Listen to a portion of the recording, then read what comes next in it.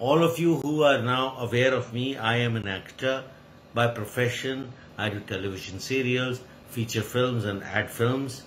And I'm right now experiencing a bit of medical dis- difficulty. I've got water in my feet and in my hands, and I require dialysis twice a week. Very expensive proposition. Covid तो चल ही रहा है cinema की चकाचौंध भरी दुनिया में चमकीली रोशनी के पीछे एक खूब अंधेरा भी है। यह वह हिस्सा है जिसके बारे में सोचकर ही सिहरन होती है। यह वह दुनिया है जहाँ कॉकटेल पार्टियों और बॉक्स ऑफ़िस पर अरबों की कमाई तो सभी को अच्छी लगती है, लेकिन उनकी सुध कोई नहीं लेता जो अब गर्दिश के सितारे हैं। टीवी और फ़िल्मों में एक्टिंग के बूते नाम कमा चुके आशीष रॉय की कहानी भी कुछ ऐसी ही है।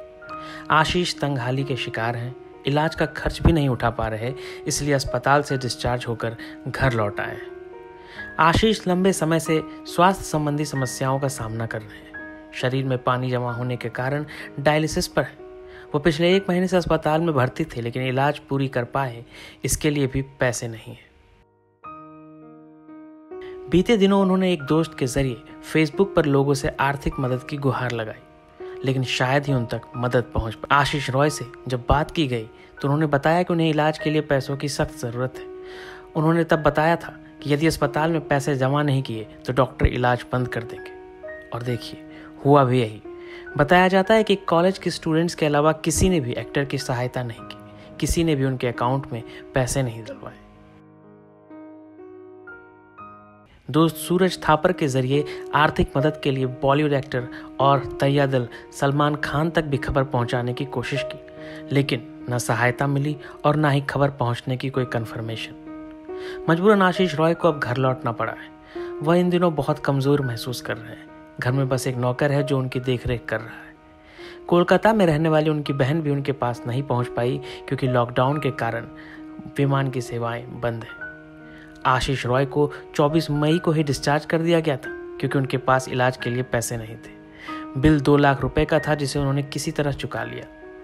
आशीष ने बताया कि उनका डायलिसिस अभी भी चल रहा है और अगले दो महीनों तक चलेगा। ऐसे में उन्हें हर दूसरे दिन अस्पताल जाना होगा। साल 2019 में आशीष रॉय को लकवा मार गया था। वह तब भी अस्पताल में भर्ती हुए थे। लकवा ठीक तो हो गया, लेकिन इंडस्ट्री में काम नहीं मिला। ऐसे में सारी जमा पूंजी खत्म हो गई।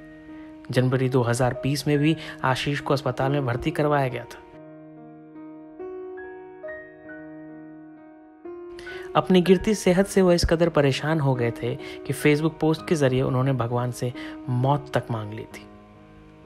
हम उम्मीद करते हैं कि आशीष तक जल्द ही मदद पहुंचेगी। सलमान तक अगर उनकी गुहार नहीं पहुँची है तो उन तक भी उनका मैसेज पहुंचेगा।